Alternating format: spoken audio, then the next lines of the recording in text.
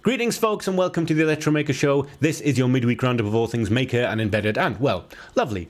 As you can see, I'm sitting down, and I don't usually start the show like this, and there's a couple of reasons for that. The first is, as you can see in the background, there is still madness in the studio up here, and that is because I'm still working on the new studio. However, the hardware setup is finished. Uh, just off screen to my right is my new rig. Uh, it is working perfectly, as far as I can tell, and it has a number of advantages. Um, I'm able to now swap between the screen and the camera just on the fly, and we can even do some of this picture in a picture malarkey if we really feel like we want to.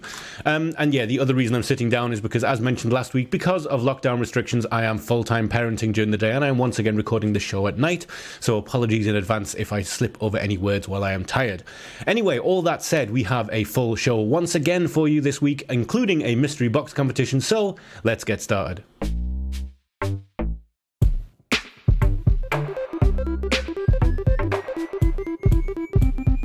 Hey folks, this is future editing Ian here with a very quick note. If you can hear that high pitched whine in the background, that is going to be present for this show. I hope it isn't too annoying for you. There's not much I can do about it right now because, as I mentioned later in the show, uh, the computer is right next to me uh, now. It won't be forever. I apologize if that puts you off a little bit, but this won't be an ongoing problem. Anyway, uh, enjoy the show. And we're going to start this week with a few projects I've seen over the last seven days or so that caught my eye. And we're beginning with an absolutely tiny little PDP-11 terminal uh, inside a VT102. And when I say tiny, I mean absolutely tiny. Um, so yeah, um, I, I, came across this through the uh, Hackaday blog. Um, and just to give you an idea as to how small this little computer is, um, this is a video from the creator. So uh, this is Sprites Mod, uh, Sprites Mods turning on their tiny little PDP-11 terminal computer. Now, as you've probably picked up from the title, this is an ESP32, which is emulating PDP-11. And if you aren't familiar with PDP, that's a series of uh, microcontrollers put out by DEC, which I believe is the Digital Electronics Corporation. Um, I did a little bit of reading up on Wikipedia just to refresh my memory. Um, I was familiar with PDP-11, but I don't keep the entire history of microcontrollers in my brain all the time because how could I? Um, but yeah, as you can see, this is a working tiny little terminal, um, and uh, it is a very cute beast indeed. And this is the brainchild of Sprites Mods, who have a very in-depth build on their website. Um, it goes through the uh, idea behind it and uh, how it came to be. Um, it's kind of interesting, actually, that this is another product of a uh, lockdown. Um, this 2020 uh, has been a weird year. In my specific case, it meant being away from my home in Shanghai, as we were in Europe at the time COVID hit, and China did not make it easy to return. Um, and yeah, long story short, they had a bunch of ESP32 development boards around and decided to emulate PDP-11. Now this is a very long and in-depth blog post and I won't go through all of it, um, but as you can see down the side there are several pages um, and uh, yeah, the second page is uh, running Tetris interestingly enough and uh, yes, they did get uh, the original terminal version of Tetris running, uh, which is of course a very very nice thing to see um, and uh, there's a lot more to this project than I'm going to be able to give any time to because it is so incredibly complex. But let's just say this wasn't particularly simple to do. Um, as the first paragraph here says, there are a few memory issues with the ES ESP32, uh, regardless of it being an old system, uh, you aren't supposed to be running it on a microcontroller like an ESP32, and there was a little bit of stripping down to be done first. And not only that, um, this isn't just a, a, software thing. This isn't just someone who's uh, decided they're going to emulate some software. They've made a very beautiful build for it too. Um, as you've seen, this really is a beautiful little tiny replica of the VT102, right down to the logo here, as you can see. And uh, the build goes through how they did that as well. Um, so yeah, as you can see, here's the VT102, and uh, it takes you uh, through how it was all put together in OpenSCAD and printed using a resin printer. Um, and uh, as, and as someone who's uh, played with a resin printer a fair bit, um, yeah, uh, they can be a little bit touchy to get working, but once it all came together, it did look very, very beautiful. Now, just in case this is ringing a bell with any of you, this isn't the first time that Sprites Mods has done something like this. Um, I remember at the time seeing when this was being passed around. Um, this is a tiny, tiny little Macintosh 2, um, and as you can see, when you put it next to the full-sized one, it's really a diminutive and lovely little thing. Um, I have a lot of time for this kind of uh, take an old big computer and make it as small as you can. Uh, I think it is a lovely project, um, and uh, I, as I say so often in Sound Like a Stuck Record, um, Sprites Mods is a website that you can get lost in and read some very very interesting things. Um, and I learned a little bit about uh, just the process of putting something like this together, as much as the complexity of this singular project uh, from this very, very well put together write up. Um, and so, what I will do is link the Hackaday article as that links out to all of the important uh, articles that you can find. Everything that I've opened here, rather than the other than the Wikipedia page, you will find by following the link on the Hackaday article, which I will leave in the description of this video. Next up, we have a project from Robo Penguins, and this is a cat-based project, which makes it a double win in my opinion. Um, yeah, anyone who's owned a cat will know that they can be rather demanding, and once they know that they can get you to do something, they will ask you to do it.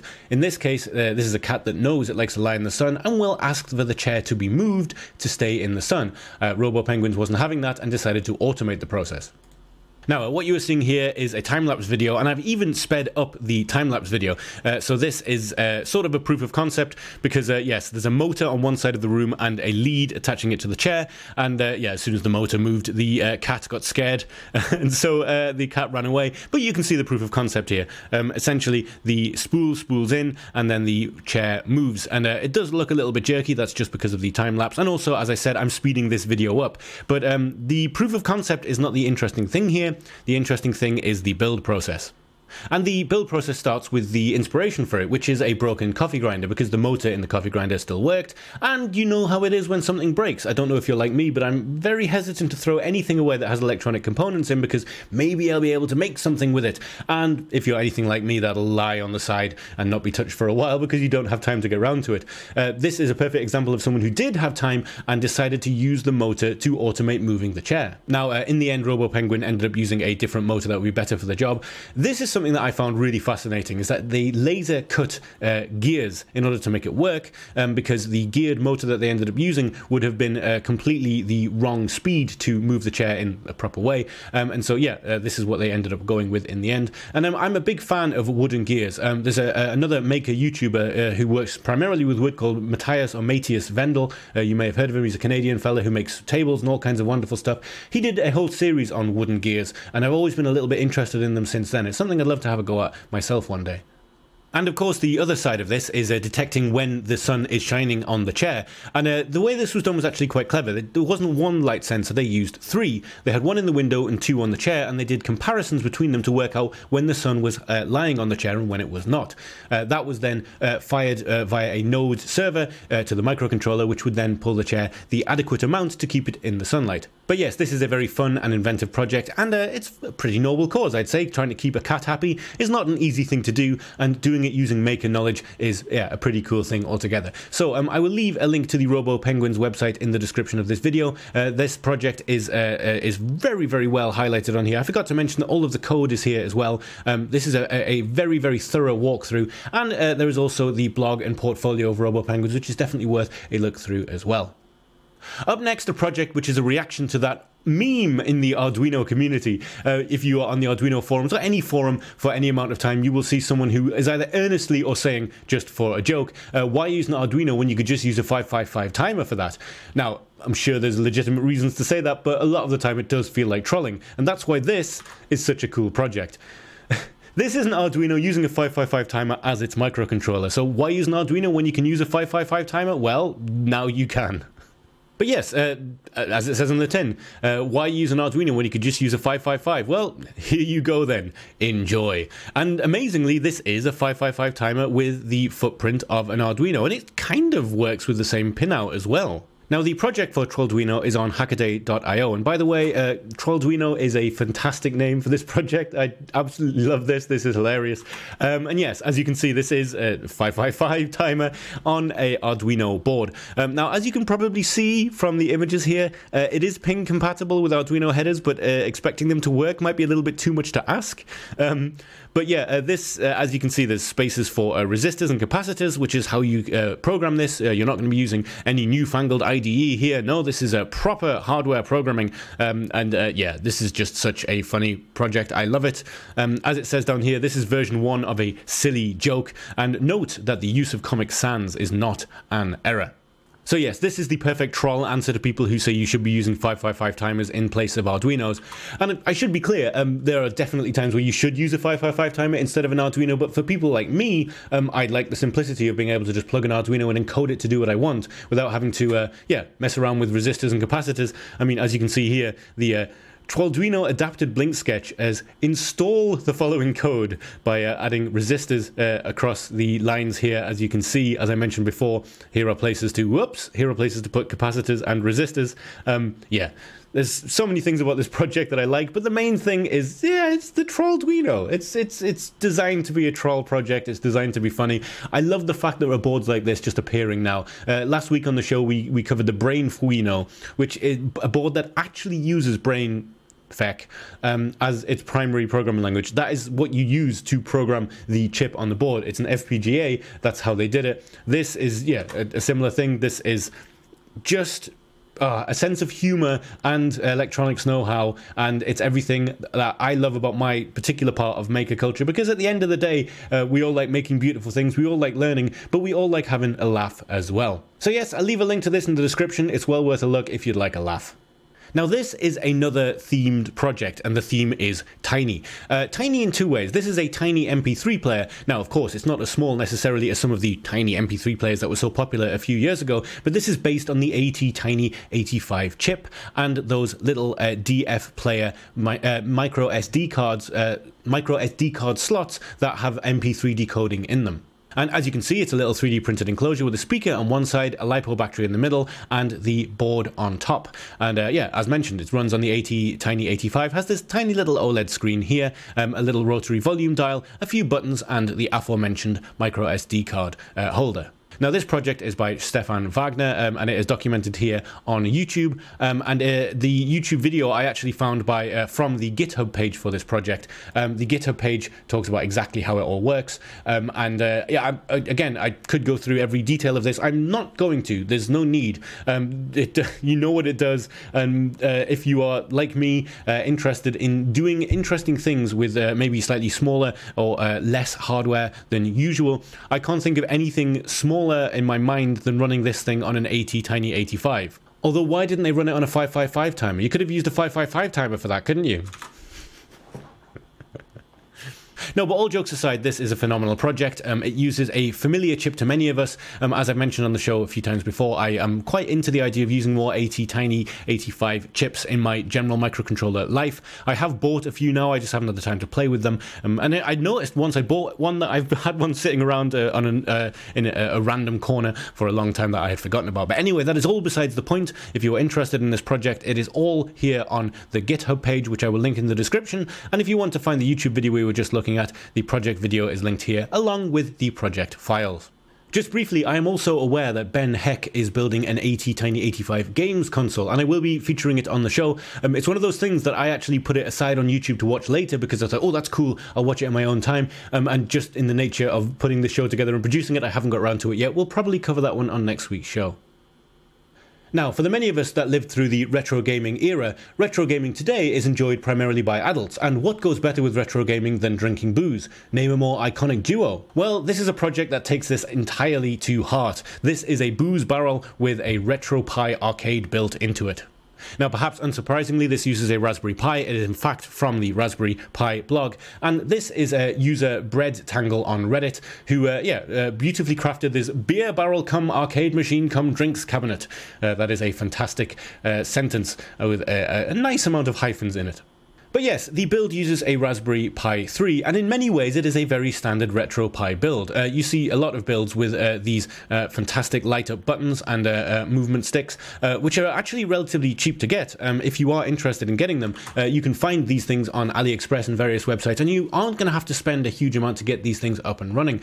Um, I was surprised when I bought a whole job lot of these buttons for making different kinds of controllers, including my editing controller, which I haven't given you an update on in a while. Maybe I'll do that in next week's show.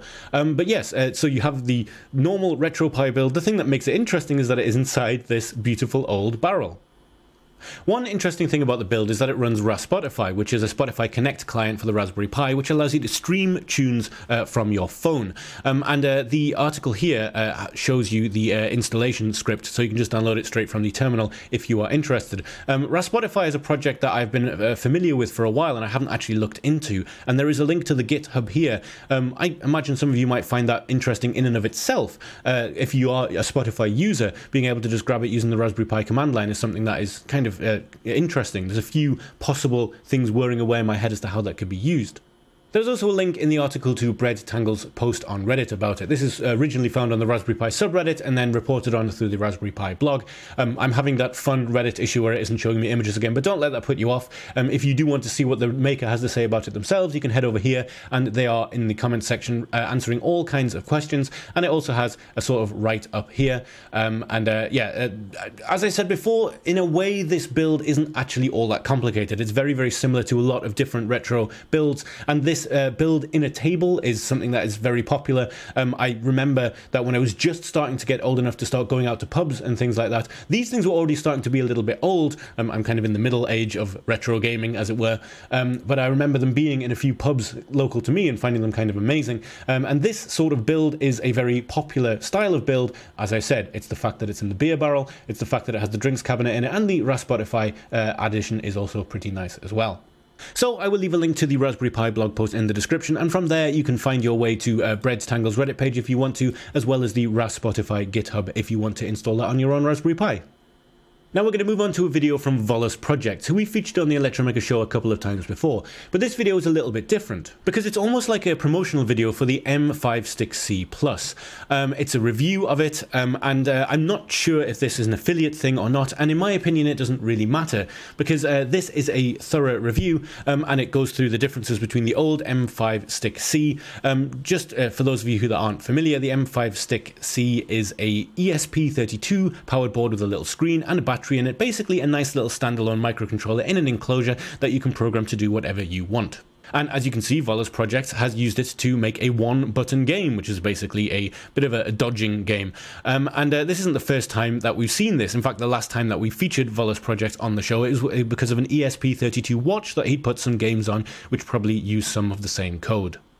And there's not all that much more to say really, other than this is a cool project from a creator that I've been following for a little while. If you cast your mind back to when we first had Volos projects on the show, it was the Arduino calculator, which was a custom PCB using an uh, AVR chip to make a simple calculator. And I remembered saying at the time what a nice, simple project that was in order to learn how things work. Um, this is, of course, something a little bit different, but um, rather than just be a, a general review of it, um, as I say, there's some games that he has made for it, and if you're interested in getting those, there is a GitHub uh, for this this one button game uh, that we uh, just saw at the start of the video.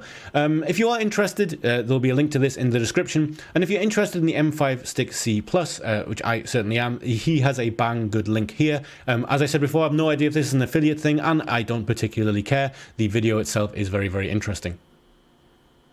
Now, so far on the Electromaker show, we've mostly stuck with microcontrollers uh, for projects, and we've deviated a little bit here and there. We've done some stuff uh, which is a little bit more commercial. One of the things we haven't really covered is the side of maker culture, which is just purely making stuff. Um, and in this case, we are talking about making stuff with large bits of metal, namely Thor's hammer. And when I say making Thor's hammer, this isn't a foam core project. This is solid steel welded together to make Mjolnir, Mjolnir,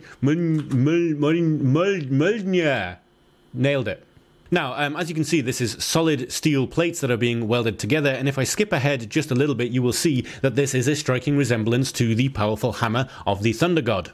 And the build doesn't stop there. Um, as you probably know if you have watched uh, any of the Marvel movies with Thor in it, or actually know the real deal and have done a little bit of research on your Thunder Gods, you know that Mjolnir is a very, very beautiful hammer. Um, it is engraved with lots of uh, beautiful iconography, and there's probably a lot of meaning to it that I am missing and I don't know enough about. Um, I'm not as up on my mythology as I could be. Um, but yes, as you can see here, uh, he's sticking this on so that he can carve into it and actually get a properly carved properly steel, properly proper Thor's hammer. And uh, as I've said, yeah, this isn't the kind of thing that we've covered so far on the Electromaker show. But if you are interested in hardware projects like this, um, they do show up in my feed from time to time. And I, I, do love watching stuff like this as much as I love watching anything else. Um, there's a certain part of this, and the same kind of thing that uh, uh appeals to me as it does for the uh, Adam Savage one day builds. Just seeing someone make something from scratch, uh, regardless if it isn't 100% the kind of thing that I'm doing in my spare time, is something I find very, very calming and, of course, very, very impressive. Now, this build is from the Let's Build Something YouTube channel, a channel I hadn't heard of before, and by the looks of things, not all that many people have. Um, but there's certainly a channel I will be following from now on because the level of detail that's gone into making this is a thing of beauty indeed. And uh, yeah, uh, as you can see, it certainly does the business. Uh, that is a very, very smashed. What is that? Squash? Cantaloupe? Not sure. And just for good measure, a pumpkin too, because uh, as you noticed, now having uh, a few internet issues, a few uh, buffering issues, but oh, a pineapple as well. Uh, yeah, that's quite a mighty hammer. Uh, Let's Build Something is clearly a talented maker. Um, I would suggest going and giving them a follow on YouTube. I'll be linking this video in the description of the video. And uh, yeah, I wouldn't necessarily do anything to annoy this person because they have a massive steel hammer. And it is time for the mystery box competition once again. Uh, this week, uh, because of the madness that is the studio, the mystery box is actually gone. And for the first time ever, uh, I know what prize I'm giving away before I am giving it away. Uh, it won't always be like this. The mystery box will return in its full glory soon. But for this week, just quite simply, I'm going to tell you that we are giving away an OKDo E1. Now, uh, this is a fantastic little development board that I covered a very long time ago. I believe when I covered this on the Electromaker show, it was called the uh, Midweek Maker Roundup, and it was a written article. It was before the show was even actually a video show on YouTube, as it were. Um, and uh, in short, these are very, very powerful little development boards. And just very briefly, if you are not familiar with it, uh, OKDo is the first board from OKDo.com, who sell a lot of other boards um, and things in their online store. It's the first development board that they have put out, to my knowledge, and as you can see here, it is an ultra low cost development board based on the NXP LPC55S69JBD100 dual core ARM Cortex M33 microcontroller. Uh, now, uh, there is uh, a uh, there are, is an IDE designed spec- specifically for working with this board. Um, and there is also a fantastic YouTube series um, that I will be happy to link to the winner if they're interested in getting started with it. Someone who seems to really know what they're doing with microcontrollers has put out just a little series as to how to get this thing up and running. But anyway, as always, we have a prize, and it is now time to pick a prize winner. And this week's winner is Brian C. Congratulations. Uh, we'll be getting this OKDo E1 development board out to you. We'll be in touch to find out your, uh, your address. Um, and by the way, I absolutely agree. The Piboy XRS looks very, very cool. Um, and I have exactly the same problem. I haven't bought a Raspberry Pi based handheld console because I keep thinking, I'll just build one. I've got all the bits. But what I don't have is any time. Um, and so, yeah, I absolutely understand that sentiment. But yeah, once again, congratulations. And we'll be getting this board out to you.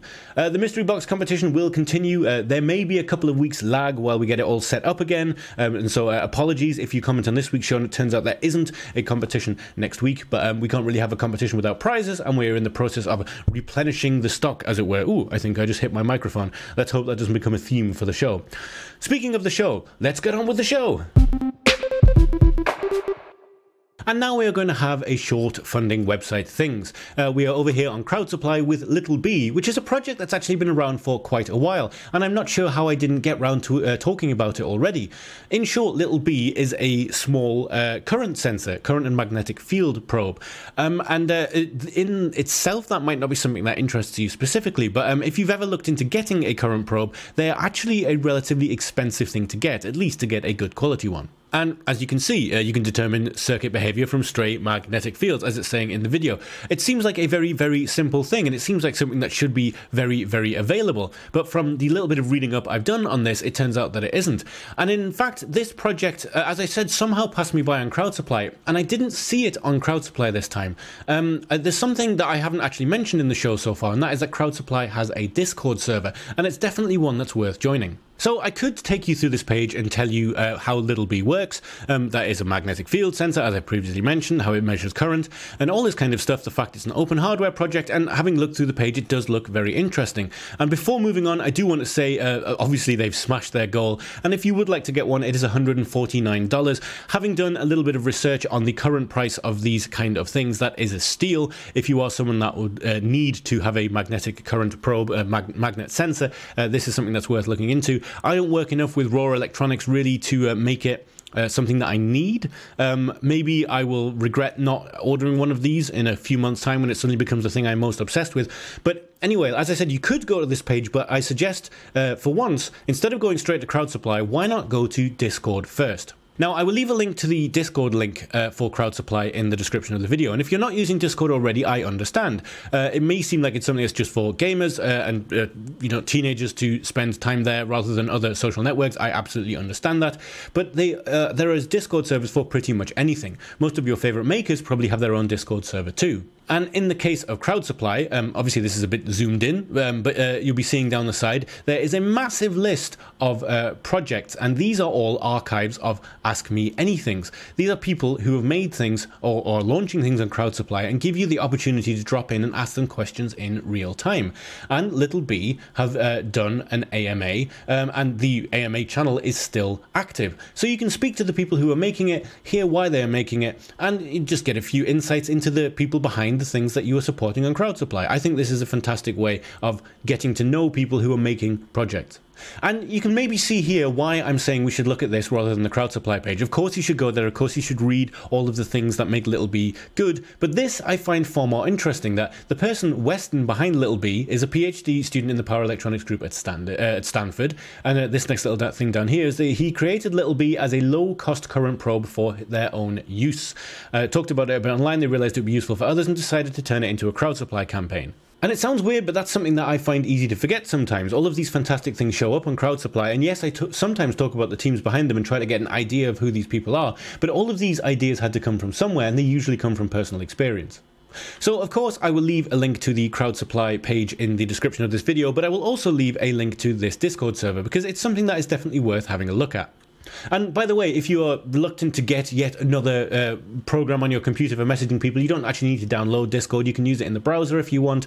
Um, all you need to do is have a Discord account. You click the invite, and it will open up this page, but in your browser. Um, I have Discord because, as you can see, I am a member of a lot of Discords at this stage. Um, but yes, uh, this is something that I found super interesting. I can't believe how long it took me to find out there was the Crowd Supply Discord. Um, a little while ago, I covered the Skull uh, CTF, and they they also have done a AMA on here, which is able to be read. It is somewhere in there. It is. It is uh, in the archive just here. And the team behind the Skull AMA are a pretty fun bunch of people as well. There's a lot of nice stuff to read here. It's a good way to get to know the people behind the products that you're supporting.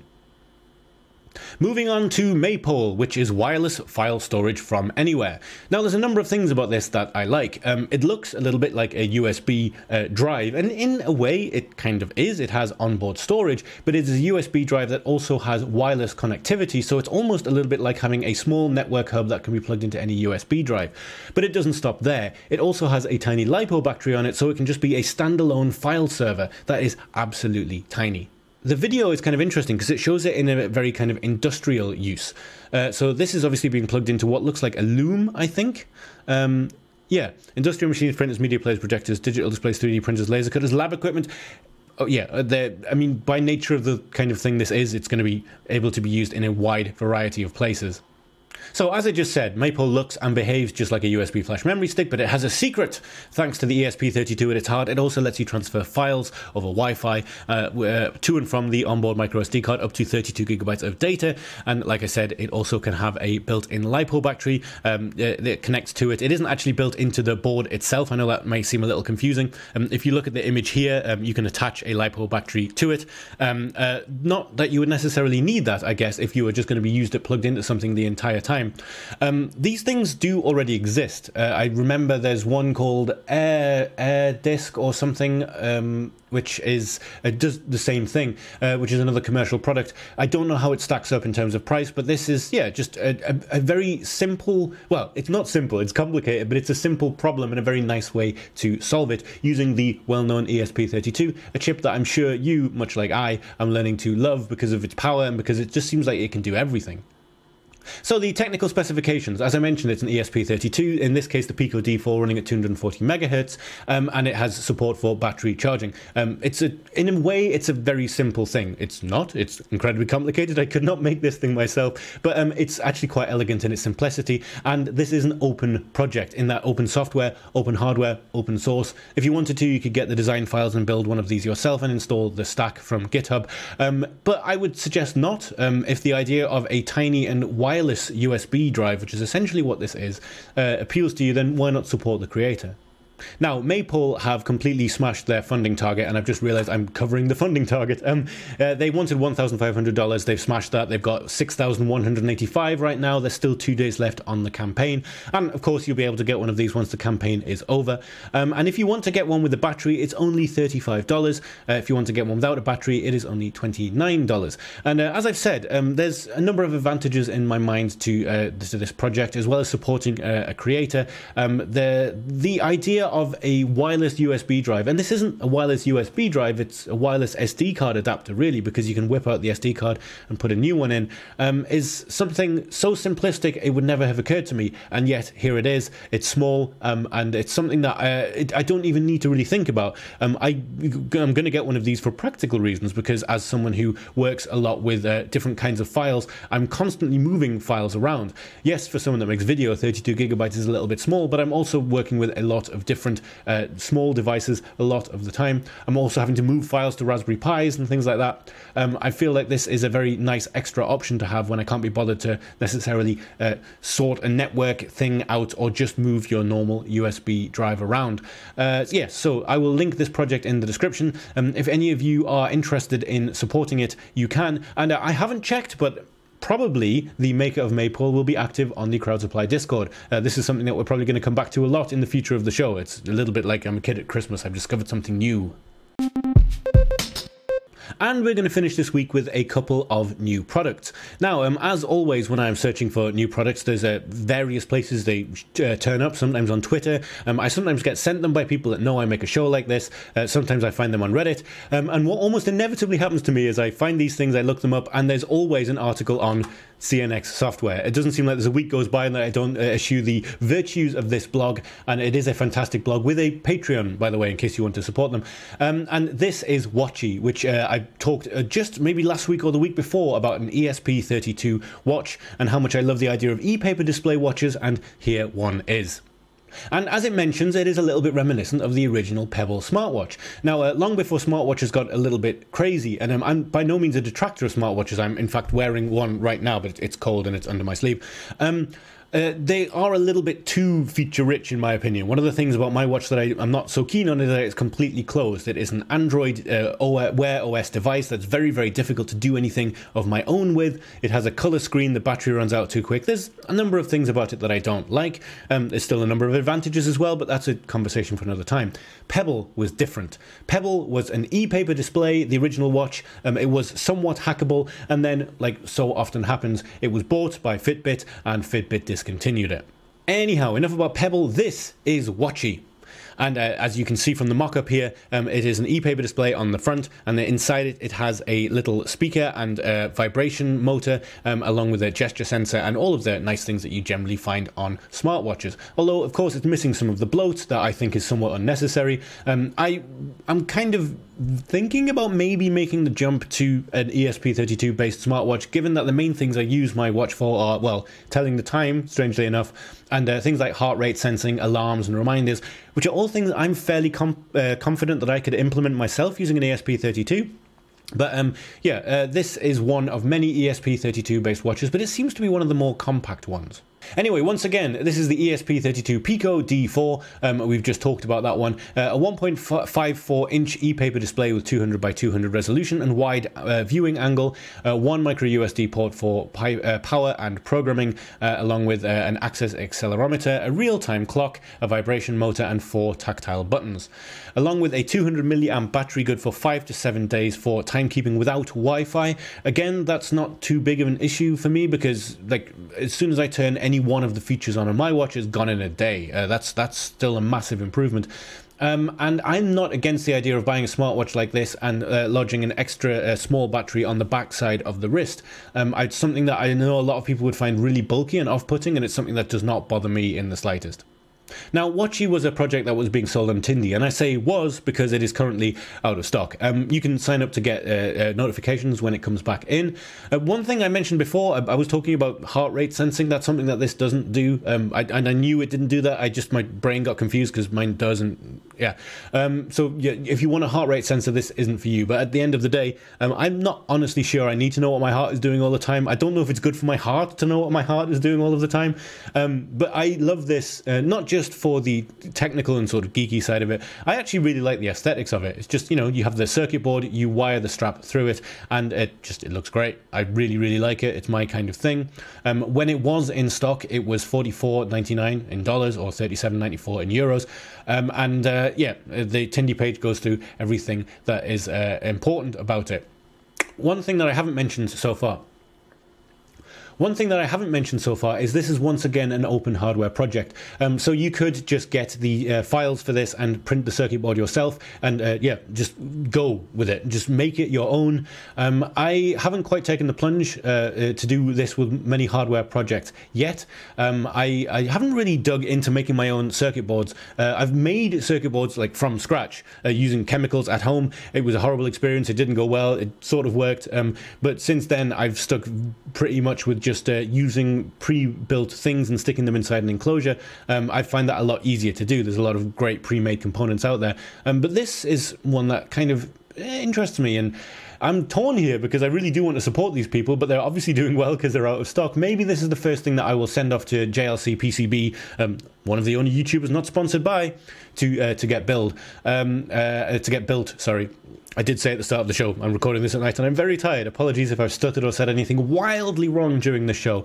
Oh, and while I'm being distracted, apologies if the uh, buzzing from the tower is driving any of you mad. It's certainly driving me a little bit mad. Uh, this whole computer that you can't see right now will be over there in its nice little uh, soundproofed enclosure, which uh, has uh, also good uh, um, cooling in it as well. I've thought this all through. But for now, I apologize if the whirring and buzzing of the computer has driven you a bit mad.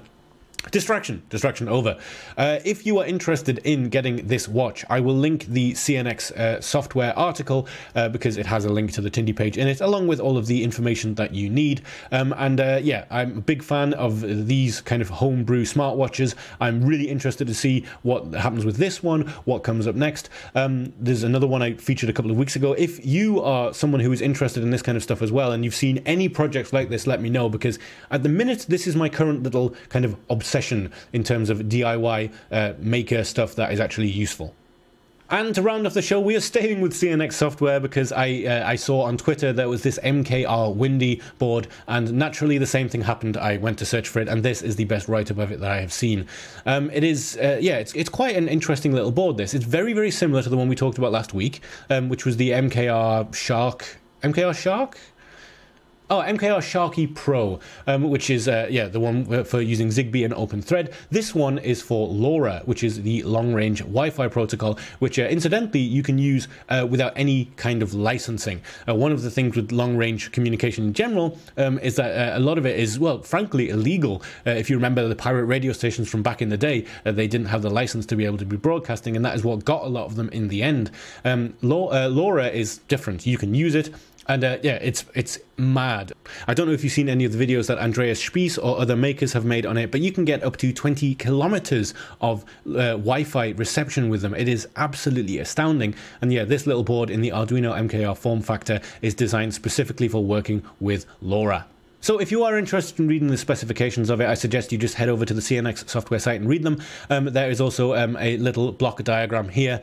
Um, this board isn't actually available as yet. Uh, you can request information and a quote uh, on them from the uh, Media Midatronics shop, um, but I feel like this is uh, in its very early stages of release. Um, when there is a price on them, we will come back to this. One other thing worth mentioning, as it says here, is the MKR Sharky Pro can be programmed in the Arduino IDE, whereas this MKR Windy board so far uh, cannot be. I mean, there's there's multiple ways that it can be programmed, which are listed here in the article: uh, UART, Virtual USB, or ST-Link, um, uh, which won't be a problem for some of you. But I know um, uh, some of you, and, and, and me, really, uh, if I'm being honest, would prefer to use the Arduino IDE for its convenience. Um, and uh, there is also not a price for this yet. I don't know if I already mentioned that, but you have to request uh, a quote. So it might be worth waiting a little bit longer before um, deciding whether you would be wanting to get a board like this or not. I mean, indeed, I don't know if you can actually get your hands on one, but I thought it was definitely worth mentioning because long range Wi Fi is a very, very interesting thing. It's something I would love to learn more about, but it's one of the things that might be on the list for when I move to the country and actually have long distances because unless I stick one of these up a tree in the park and then come home and stick one out of the window in the Attic of Dreams, I don't really have any need for one, but it is a very interesting board nonetheless. So, folks, that was our show for this week. Thank you so much for joining me, and thank you for bearing with me through this time. It's been a little bit strange having to do the show on laptop and from different locations, and waiting for all this stuff to finally arrive to get it set up. Um, hopefully, going forward, uh, COVID restrictions aside, we'll be able to have the show as it was in the past, with a few upgrades as well. I hope. Um, but uh, as always, I hope you're having a fine and productive week. Take care, and I'll see you in the next one.